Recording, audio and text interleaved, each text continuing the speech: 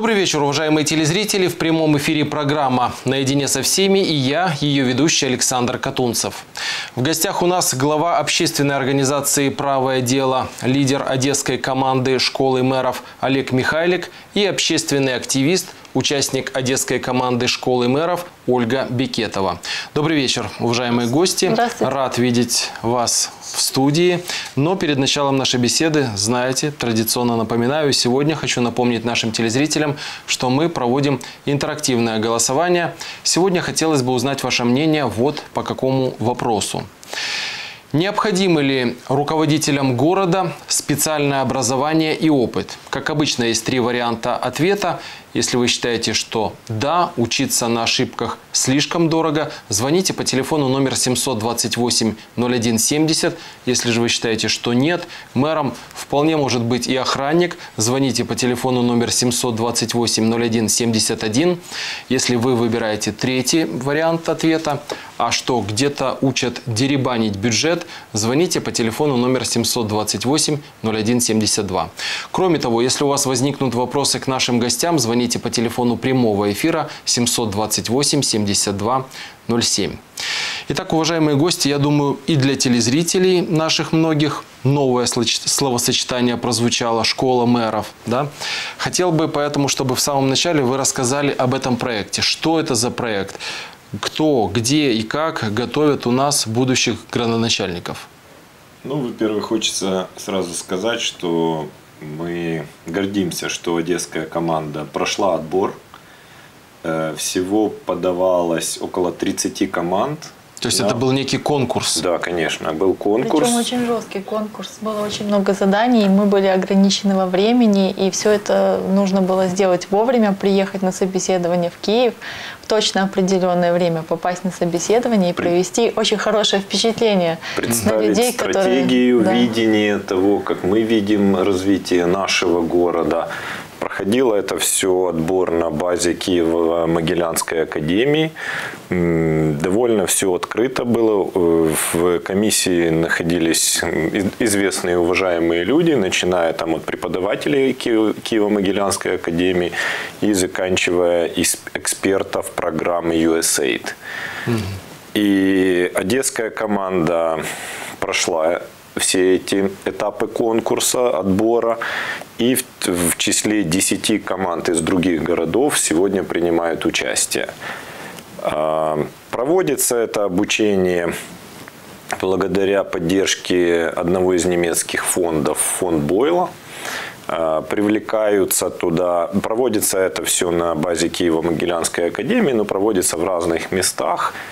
И привлекаются лучшие преподаватели, урбанисты, специалисты, притом узкие специалисты по различным направлениям, э, начиная от э, городского хозяйства и заканчивая там планирование, создание стратегии города, транспорт, э, людские ресурсы и еще много чего. Ну, то, что это проводится не за партой, вот как мы привыкли, да, учиться, заходишь в аудиторию, садишься за парту и целый день Прослушал лекцию там, да. да. А у нас очень интересная интерактивная учеба. Каждый модуль мы находимся в разных местах. То есть у нас есть возможность посмотреть Киев с другой стороны. Мы не сидим в Киево-Могилянской академии, мы ходим по хабам. То есть мы имеем возможность общаться с лекторами, с людьми, которые приходят. Там более такая непринужденная обстановка. Ты можешь просто 10 минут отдохнуть, полежать на, на траве и прийти и заниматься. Занятия очень тяжелые. Мы начинаем заниматься в 10 утра и заканчиваем, бывает, в полдевятого вечера или в 8 вечера. И целый день на протяжении трех дней вот э, мы вкладываем, впитываем в себя, все это получаем. И сумасшедший, конечно, темп, но очень интересно. Такие люди приходят, которых э, мы никогда бы, наверное, не встретили в обычной жизни. Или даже если бы и встретили, то столько знаний вот на таких вот э, семинарах и лекциях мы бы не получили, конечно. Угу. Очень интересно. Хочется сказать, что э, для нас это тоже новый проект. Мы о нем узнали там в последний момент. А с учетом того, что мы организовывали несколько образовательных проектов для общественных активистов, для деятелей, в том числе для э, членов различных демократических партий в Одессе, мы попробовали, и у нас вот получилось.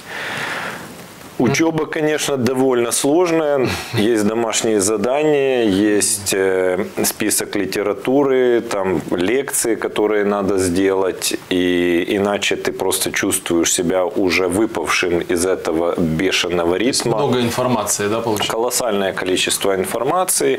Э, еще что хочу сказать, что с 3 по 10, 10 все, кто выполнил э, задание и прошел эти три модуля, едут в Польшу на стажировку в трех муниципалитетах. То есть практика будет тоже? Практика. Ну, обязательно, куда без практики. В наше время можно написать себе конспект, никогда в него не заглянуть. А если ты уже видел, как это работает на практике, ты уже видишь, что вот есть такие-то минусы, можно вот это у нас внедрить, это нельзя внедрять, потому что менталитет людей другой.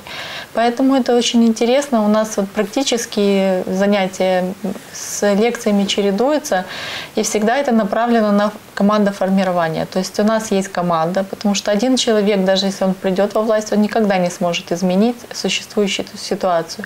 А так, э, если есть команда, они знают, в каком направлении нам надо двигаться, четко распределены обязанности. То есть там отвечает один за ID, а другой отвечает за ЖКХ. То есть мы знаем, ага, вот у нас есть стратегия, над которой mm. мы сейчас работаем, как мы будем развивать наш город. Вот просто по, пошагово. Вот, вот мы приходим во власть, и на следующий день мы уже начинаем работать. Нам не надо тратить время для того, чтобы понять, как это работает, что вообще происходит, куда бежать, откуда начинать. У нас все это школа мэров дает. То есть мы начинаем разбирать все со скелета, грубо говоря. Mm-hmm. То есть э, показывать показывают, как оно работает, как должно работать, как работает в других странах, как мы можем изменить то, что уже сейчас находится, и что мы можем улучшить, и как вообще э, выработать стратегию этого города, чтобы через 20 и 30 лет люди отсюда не уезжали, а оставались здесь, потому и, что э, мы любим этот город, и мы хотим жить в нем. в том, что это нормальная практика развития современных европейских городов, э, что люди, прежде чем попадают э, в э, органы управления, самоуправления, местного самоуправления, в том числе там идут избираться в мэры, в э, городские исполнительные органы, они должны иметь хотя бы минимальный базовый уровень, понимая, что они там будут делать, э, зная лучшие практики, которые применены в похожих городах, либо в мире. Иначе учить э, все сначала, находясь уже там, угу. ну просто на это нет времени. И потом начинается э, то, что мы видим в том числе и в Одессе. Угу. Да. Да. То есть и нет стратегии развития города. Да? на живых людях. Эксперименты, при том эти эксперименты, они, они порой безумные. Что хочу еще сказать, что э, помимо вот этих современных практик, лучших практик, э, знаний, которые даются в этой школе мэра, э, уже есть несколько людей, которые отучились и сегодня являются действующими мэрами. Да, это мы уже в третьей школе мэров да, не это, в первой. То есть это третий набор, и буквально на прошлой неделе, на прошлом модуле мы встречались с одним из выпускников, выпускников этой да, школы. Он мэром Житомира. Житомира. Стал мэром Житомира и рассказывал то, как он видит и что он делает сейчас. И для нас то, что он рассказывает, ну, это просто удивительные вещи. И очень обидно за Одессу, что этого не происходит в Одессе. Еще несколько человек тоже уже не первые, уже действующие мэры, и все они э, шли туда становились этими мэрами, уже имея базовые знания и были подготовлены. И это им сейчас позволяет э, свои города просто поднимать. Да, вот, например, мэр Житомира, вот, э, в соответствии со стратегией города Житомира, это будет спортивная столица Украины. Сейчас они mm-hmm. занимаются тем, что они строят спортивные комплексы, спортивные стадионы, готовят под них инфраструктуру, то есть это гостиницы, это э, какие-то общественного питания комплексы. В следующий раз, когда вам нужно будет поехать на какие-то соревнования, вы же не будете задумываться, куда вы сразу поедете в Житомир. А Одесса так и останется просто городом, в котором ездят туристы посмотреть Летом. на море. Да. Посмотреть на море. Мы хотим, чтобы Одесса была круглогодична и восстановить было звание Одессы, жемчужины у моря. Это верно. И то туристы, скажем так, ездят от безысходности. Это те, наверное, куда кто не может Кто не выехать. поехал в Крым, да? Одессе посчастливилось, что отпал Крым, и теперь Одесса переполнена в том числе и внутренними туристами, и в какой-то степени, наверное, даже страдает от этого огромного количества туристов, приезжающих в одно время, в таком количестве и в одно место.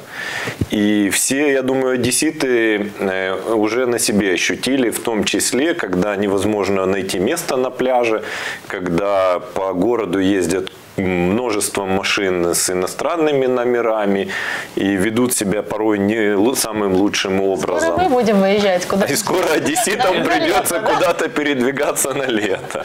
Это точно.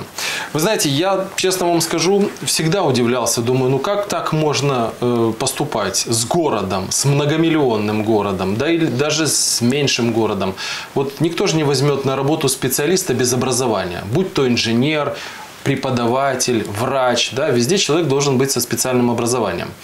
А мэром города, оказывается, может быть кто угодно, по крайней мере, в нашем случае. Но это неправильно, мы хотим это изменить, поэтому мы пошли туда учиться, мы оторвали время от семьи, от- ну, это нам как бы и финансово тоже немножко накладно ездить. Но мы хотим поменять этот город для того, чтобы в нем остались жить и наши дети, и внуки. Мы не собираемся отсюда никуда уезжать и хотим сделать этот город просто процветающим, цветущим, чтобы мы могли гордиться. И когда ты слышишь «я одессит», это было очень гордо. Это звучало гордо. Понимаете, беда еще в том, что пусть мэр приходит, допустим, не сильно подготовленный, да, все-таки мэр это больше политическая такая должность, которого Вопрос избирают. спорный. Люди Спо- спорят. Одни говорят, должен быть хозяйственником, другой говорят, Не- нет. неправда. Если у мэра ну, э, есть видение, в каком направлении э, должен развиваться его город, чтобы ему потом э, было не просто не стыдно за то время, когда он был мэром, а он гордился, что он за это время поднял свой город на какое-то другое, перевел его в другое, более качественное состояние, сделал его более известным, с хорошей см- точки зрения, в хорошем смысле, сделал его более комфортным для э, тех людей, которые его избрали, то э, у него достаточно и возможностей, и рычагов привлечь э, супер классных специалистов, особенно имея такой бюджет, как в Одессе, имея такую статусность Одессы, что сюда приедут лучшие, работать только лучшие их нужно специалисты, слушать. Нужно слушать, которых потому надо просто делать. слушать. Но эти же специалисты не будут э, помогать ему деребанить бюджет. Они не будут ему помогать э, уничтожать активы Одессы в виде э, памятников архитектуры, пляжей, склонов и парков. Они будут говорить то, что э, делают в нормальных европейских городах, чтобы они стали, первое, комфортны для жителей, второе, чтобы люди э, хотели там жить, и третье, чтобы туда привлекались инвестиции и туристы. А это очень часто будет входить в противоречие с тем, что хочет делать теперешняя одесская городская власть. И получается, что страдаем от этого всего все мы, одесситы, и э, будут еще это все расхлебывать наши потомки. Ну, вы правильно сказали, что для этого надо иметь видение, и мыслить надо стратегически, Да. то есть немножко крупнее, масштабнее. Я хотел бы поговорить отдельно с вами. Вот вы сказали, Ольга, да, что мы хотим изменить этот город для того, чтобы каждый одессит мог с гордостью произносить «я одессит», и это звучало гордо. Э, Поговорим об этом, что бы вы изменили в нашем городе, вот на примере Одессы, да. Но перед этим я хотел коснуться еще одного проекта. Насколько мне известно, вы участвовали в проекте «Общественный бюджет». И я предлагаю сейчас посмотреть сюжет на эту тему. Да, конечно. А потом мы рассмотрим на примере вашего опыта, что это за проект и состоялся он или нет с вашей точки зрения. Давайте посмотрим сюжет.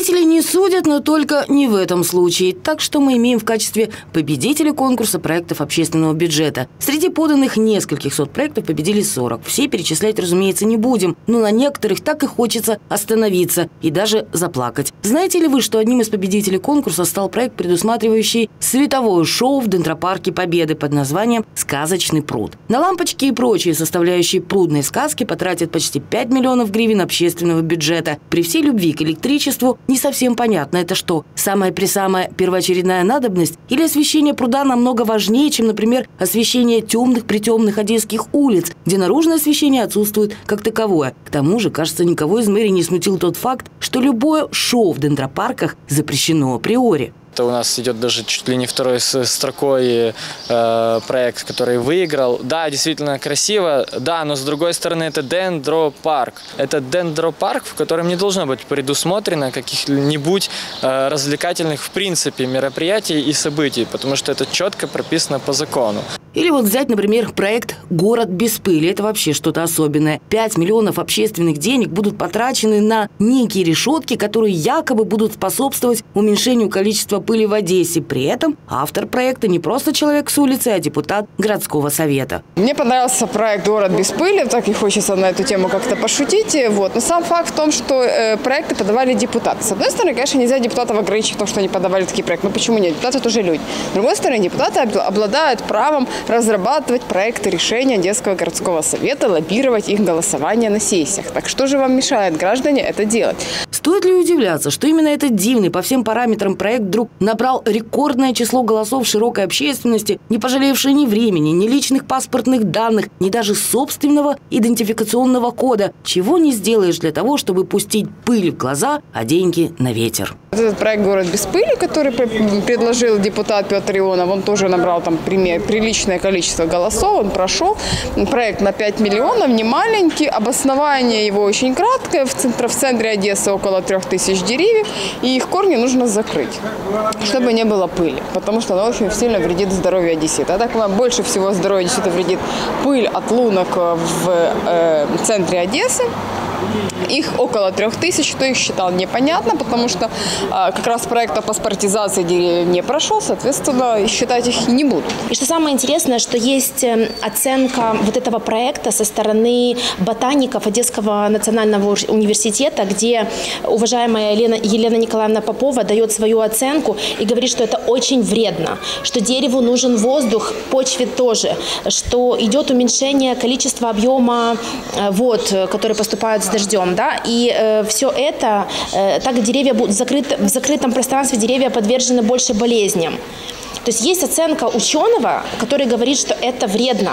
Но это не помешало абсолютно э, проголосовать за этот проект. Ну и такая себе вишенка на торте проект «Город скульптур». 2 миллиона 250 тысяч гривен, на которые в Одессе появятся новые достопримечательности в виде памятников котам, скрипачу Изи, памятника шахматисту, памятнику писающему туристу и, внимание, памятника юмору.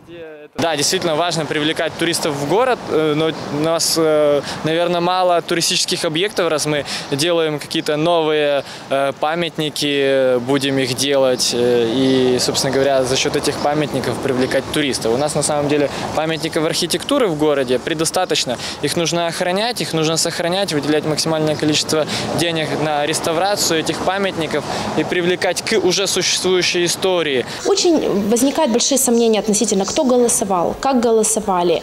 Почему-то вот такие вот проекты, как памятник э, юмору, важнее, чем наши деревья. Очень много вопросов, и э, я думаю, что мы никогда не получим на них ответа.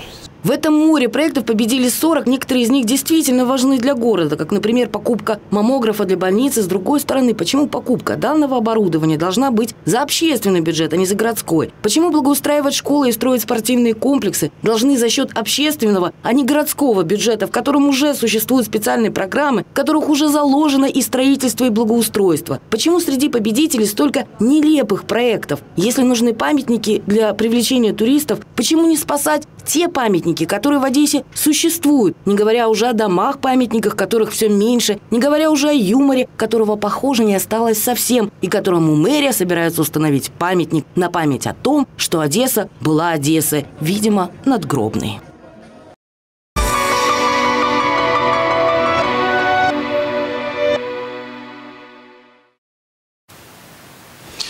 Ну вот э, так э, общественный бюджет был распределен, скажем так, э, в рамках этого проекта. Вы тоже принимали участие, Мы ваш проект тоже участвовал в конкурсе, Да, да, мы участвовали в конкурсе тоже из безысходности. У меня дети учатся в школе, занимаются спортом, негде тренироваться детям.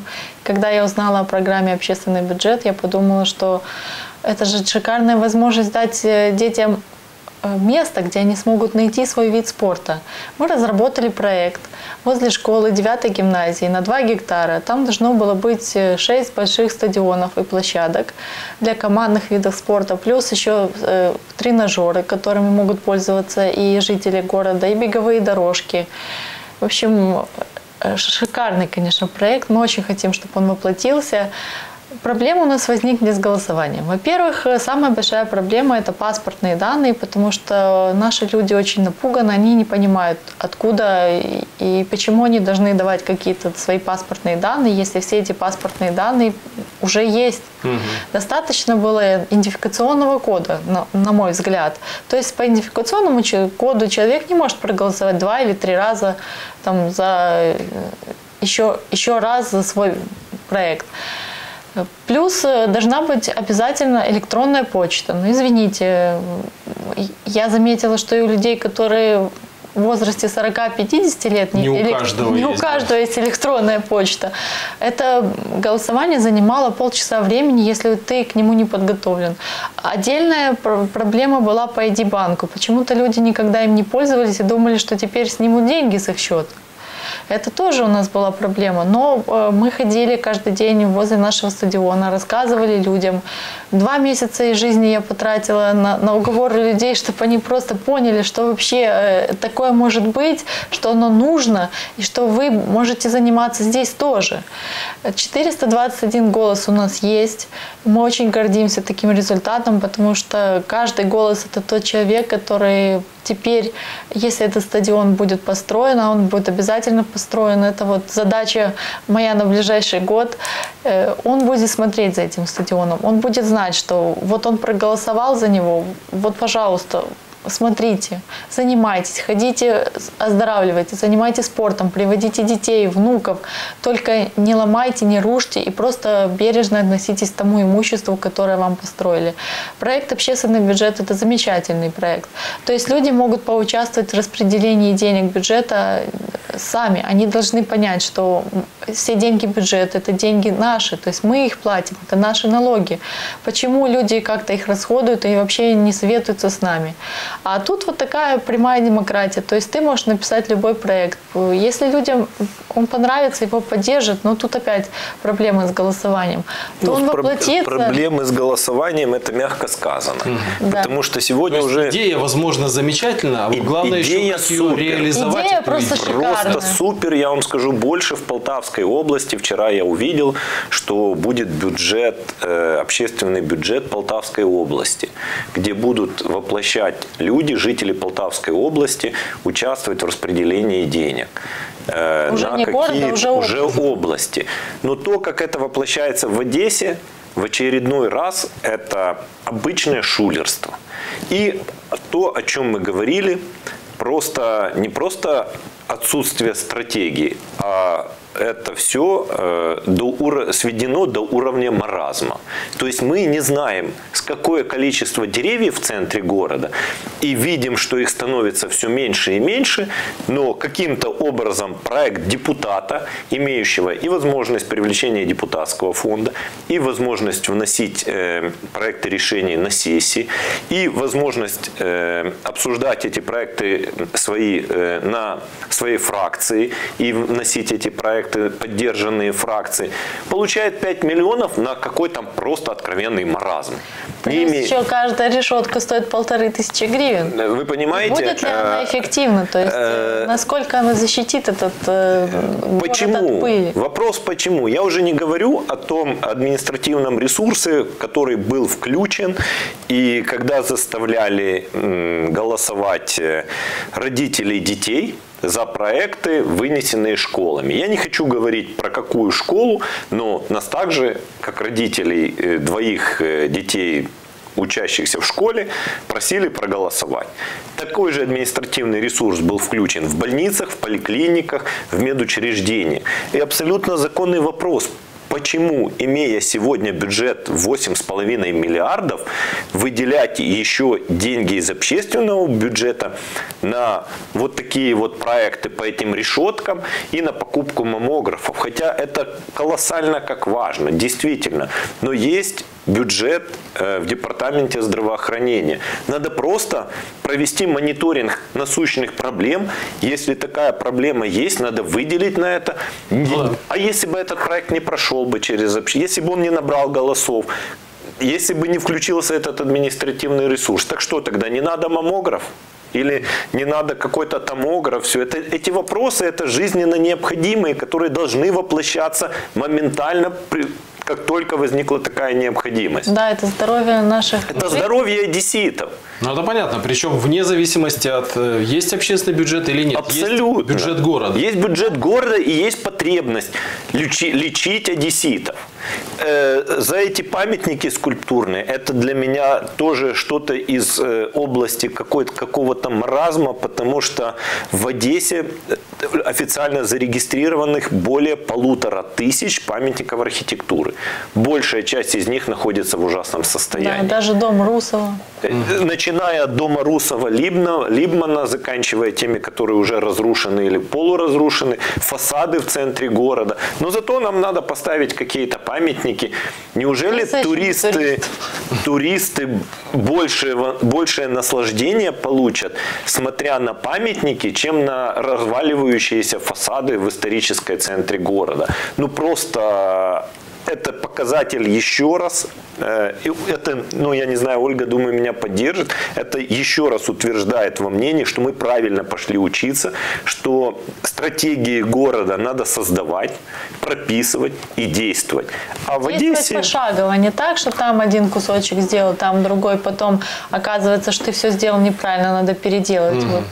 Э, то есть это все должно быть органичная структура, которая просто вот накладывается как калька на город и выполняется в течение... пускай не сразу, ну, да. а по кусочкам, и все это ну, выполняется. То есть в комплексе, в комплексе конечно, да. Нельзя просто поменять маммограф и не починить э, дом Русова. Понимаете? И очень интересное было, да, про- провести инвентаризацию деревьев, провести следующим шагом, провести инвентаризацию лунок, в которые деревья погибли, либо были спилены, либо есть возможность посадить посадить. Дальше заполнить как минимум эти лунки дополнительными саженцами, чтобы увеличить э, количество зеленых насаждений. И потом уже, когда, наверное, некуда сажать их, тогда уже, может быть, закрывать решетками и бороться с пылью. Потому что тот вред, который наносит жителям Одессы и приезжим отсутствие зеленых насаждений, я думаю, что он в, в миллионы раз выше. Это измерим однозначно. Это, да. Ну, чем та пыль, про которую тут нам рассказывали У и нас, вносили. Кстати, в школе мэров было такое занятие по транспорту и озеленению. Вот так каждое дерево, которое растет в городе, экономит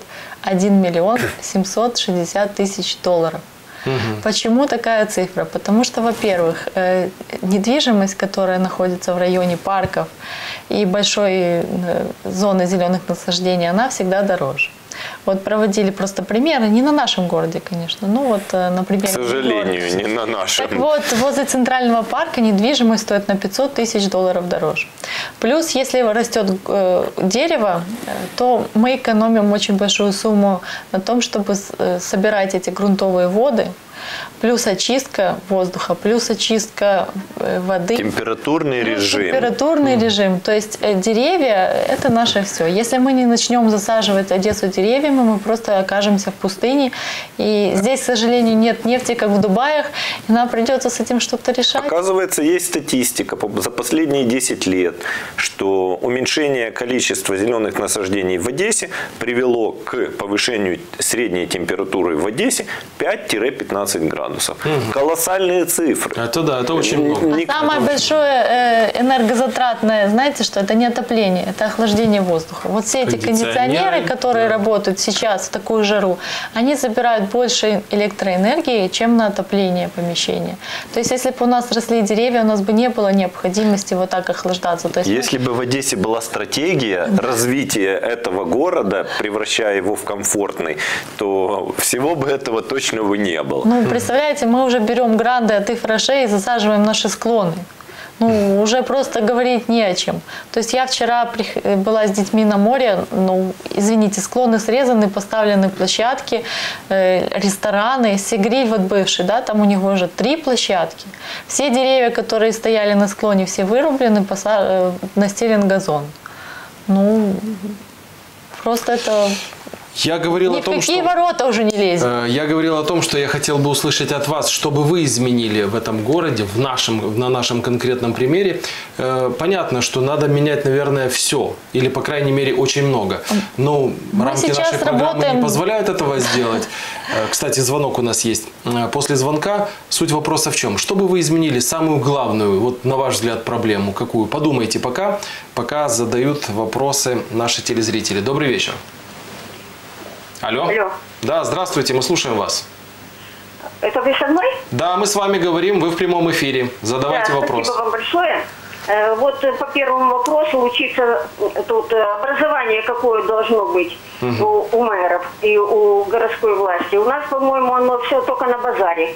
Вот у нас на Бочарова э, сделали с улицы Рос сплошной базар. И без конца вот эти строительства уже, сколько их уже можно делать, вообще непонятно. Мало того, что и стройки вот эти бесконечные. У нас в мае месяце э, в парке в Молодежном была топографическая съемка. Когда спросили этого человека, что он делает, он э, зачем делаете топографическую съемку, он сделал вид, что он никого не знает и ничего не понимает. Так что ждем строительства в нашем парке. Понятно. Ждете сюрприза в парке. Да. Понятно. Спасибо. Спасибо за информацию. Это то, с чего надо начинать уже сегодня. Я не говорю о том, что эту власть городскую ее надо поменять. Ее надо просто разогнать и набрать туда новых людей. Взять людей, которым люди будут доверять, одесситы, которые смогут привлечь специалистов, в том числе и иностранных специалистов, платить зарплату им и развивать этот город. Но то, что уже сегодня надо делать, это надо освободить все парки, зеленые э, газоны, зеленые зоны от мафов. Мафы – это убийство потенциала города. И это тоже мы уже слышали лекцию, что это то, что проходили цивилизованные страны там 80-60 лет назад. Это убийство малого бизнеса, это убийство потенциала города. Нужно Это- развивать первые этажи для того, чтобы люди могли свободно передвигаться и по тротуарам, потому что, извините, ну даже с коляской трудно пройти по тротуару. Все заставлено кафе, мафы вылезают, э, просто машины ставят прямо на тротуаре. У нас были настолько качественные занятия по устройству городского пространства, то есть во главу угла ставится человек, его возможность передвижения. Он должен ходить по чистым тротуарам, по свободным тротуарам. Он должен дышать свежим воздухом. У него должны быть пространства. То есть э, у нас нет ни одного общественного пространства, куда люди могут прийти, просто посидеть, отдохнуть. Вот сейчас сделали Стамбульский парк. Вы помните, в каком он был состоянии? Да? Никто туда не заходил. Сколько людей сейчас в нем отдыхает? А таких парков нам надо минимум Десятки, да, 500 десятки, штук на десятки город. в того, каждом чтобы районе. В каждом районе человек мог выйти со своего девятого этажа, спуститься вниз и пообщаться с природой. По поводу парка вот расскажу. Вот тут пафосно приезжал президент, э, вкладывала в это деньги мэрия Стамбула. В то же время в Киеве на а, Оболонской набережной силами э, общественности, с привлечением э, власти был не просто создан современнейший парк, он был облагорожен, э, приведен в порядок и Там сейчас содержится, туалет. содержится за счет городской власти, а это было просто общественный порыв, которые захотели это сделать. Я был во многих странах мира и могу сказать, что это один из самых лучших парков, которые я видел по всему миру. И не было никакой, ни- никакого пафоса. Но сейчас там находятся фонтаны, э, зеленые лужайки, беседки, видеонаблюдение, новейшее э, освещение. Я уже не говорю, И что... люди заботятся, потому что они сами принимали участие Поним- в формировании парка. Была проведена большая работа, социологическое исследование. И осенью, и зимой, и летом, и весной приходили люди, спрашивали гуляющих в парке, что бы вы хотели здесь изменить? Они говорили, мы хотим это, мы хотим то, мы хотим детскую площадку, мы хотим спортивный комплекс. Все эти идеи обрабатывались, и потом выросла концепция этого парка. Парк сейчас 60 гектаров. На него было потрачено на реконструкцию, уборку и перепланировку 60 миллионов гривен. Гривен. Гривен. Это настолько вот... э, Это мизерные, это мизерные деньги, которые позволяют увеличивать, улучшать качество, комфортность жизни э, жителей, как минимум этого района, ну просто выводить на другой уровень.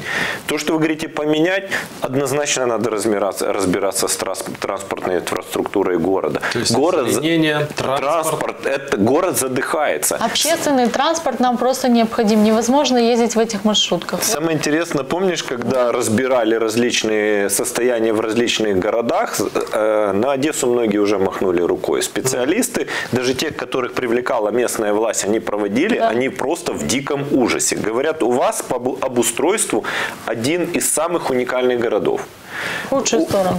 Э, в худшую сторону сегодня. Но то расположение улиц, зданий – это уникальное в лучшую сторону, потому что у вас при наличии э, общественного транспорта не может быть никогда пробок. Потому что город построен квадратно-гнездовым способом. Всегда То есть, есть, возможность имея объехать. уникальность некую, по- со знаком плюс, да, мы ее превратили... в Уникальность, полученную от наших предков, настолько грамотно построивших центр города и, в принципе, развернувшись, э, раз- развернувших э, спальные районы, что в Одессе пробок априори быть не может. Но мы задыхаемся от А пробок. мы задыхаемся от них, потому что отсутствуют паркинги, потому что э, общественный транспорт, э, его сложно назвать э, Транспортом. транспортом вообще.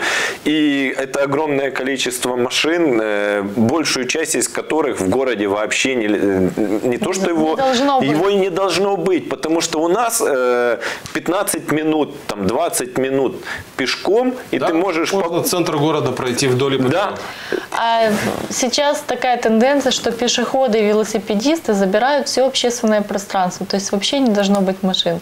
Каждое парковочное место, на котором стоит машина, занимает 6,5 квадратных метров. То есть все это место, где мы паркуем свои машины, мы забираем у детей. Мы можем поставить там какие-то детские площадки, мы можем поставить там спортивные сооружения для того, чтобы любой человек мог подойти и просто посидеть, позаниматься спортом, отдохнуть. А мы все заставили машинами. Посмотрите, в городе четыре полосы, да? Из них используются Реально только две? две, Да. а все остальное припаркованы машины. И э, знаки не работают, потому что у нас э, нет политической воли для того, чтобы штрафовали эти автомобили, которые припаркованы в неположенном месте. Хорошо, если они стоят на дороге, так они же залазят на тротуары. Они залазят так, что ломают плитку, что ломают э, поребрики. И потом все это за деньги города все приходится восстанавливать. Никогда водитель машины не думает, насколько денег он причинил вреда вот тому же пешеходу или это, той же плитке или тому же городу. Это его комфорт. Он доехал хорошо, оставил машину на 8 часов, пошел поработал, забрал машину. Все. То есть у нас не разработана структура, по которой человеку невыгодно будет приезжать в город. Ему можно передвигаться там за городом, ехать в какие-то большие супермаркеты на машине. А когда человек поймет, что ему в город удобнее приезжать или на велосипеде, или пройтись пешком, или на общественном транспорте, который ходит четко, как, как часы. То есть ты знаешь, вот если ты вышел в 9.25, 9.26 придет автобус, ты в него комфортно сядешь, комфортно доедешь, выйдешь, не, не объехав весь город, как сейчас, да, а ты доедешь до вокзала за, за 15-20 минут. Да, кратчайшим и все кратчайшим маршрутом, потому что будет единый билет. Э, То есть тебе не надо будет платить каждый раз за маршрутку, там, пересаживаться 20 раз. Ты доехал, все, будь здоров, пожалуйста, обращайтесь к нам еще раз, ездите И, и самое да. обидное, что это все можно сделать уже завтра. Было бы желание. Я уже не говорю о том, что надо восстанавливать и фасады, и восстанавливать исторические памятники, и привлекать сюда туристов другого уровня, интеллектуальных туристов, туристов из европейских стран, которые с удовольствием будут сюда ехать не для того, чтобы полежать на море э, среди этих лежаков установленных, либо этих э, э, автоп- автопарковок, которые там сейчас э, усиленно располагают на э, берегу моря. Им это не надо. Им интересно было бы ивентный туризм, какие-то фестивали, мероприятия, плюс памятники архитектуры. И это тоже э, может то, что можно сделать в течение года-два, увеличив потенциал туристический Одессы, выведя его совсем на другой уровень, получая больше денег с меньшего количества туристов. Опять же, стратегии развития города не существует. К сожалению. Э, Городские власти заняты в том числе вот такими вещами, как там э, пыль, защита от пыли, там какие-то там Вот даже есть э, пример Львова, да, вот этот город, который тоже находится на нашей территории, в Украине находится, там реконструируют старые балконы. Программы по реконструкции старых балконов, старых, Старых окон. окон и старых э, не дворе, этих ворот, Ворот. в которых э, государственное, не государственное, государство к этому не имеет никакого отношения. Выделяются бюджет из, э, бюджетные деньги из э, казны города и э, 10 Человек на платит 8. какую-то свою, там, абсолютно небольшую частичку. там частичку, только для того, чтобы, понимая, что потом, когда сделать, он будет к этому от- точно относиться бережно и Потому культурно. свои потому что он вложил туда, свои да. деньги. Что ж, спасибо большое. Я сегодня слушал вас вот с открытым ртом, как говорится, видя ваши горящие глаза, я понимаю, что еще не поздно все исправить. И, конечно, хотелось бы, чтобы мы жили в той среде, в комфортной, в культурной, э, в приятной и наслаждались этой жизнью. Действительно, с гордостью произносили слово «я одессит». И это, чтобы звучало гордо. Хочется еще Спасибо. сказать, что Одессита должна, О- Одесса должна быть в первую очередь комфортной для одесситов. Туристы это хорошо, но турист сегодня приехал, завтра уехал. А нам, нашим семьям и нашим потомкам здесь жить. Круглый год, да. Спасибо большое, успехов вам. Ну и надеюсь, что вы все-таки измените эту ситуацию в лучшую сторону. Всего Спасибо вам доброго. большое. Что ж, уважаемые телезрители, наша программа подошла к концу. Мне остается подвести итоги интерактивного голосования. Напомню, что мы сегодня спрашивали у вас, как вы считаете, необходимо ли руководителям города специальное образование и опыт? И более половины, 51% телезрителей считают, что да, учиться на ошибках слишком дорого. 12% телезрителей считают нет, мэром вполне может быть и охранник. И 37% телезрителей выбрали третий вариант ответа. А что, где-то учат деребанить бюджет? Спасибо большое вам и за голосование, и за телефонные звонки. Наша программа подошла к концу. Всего вам доброго, до свидания, до новых встреч.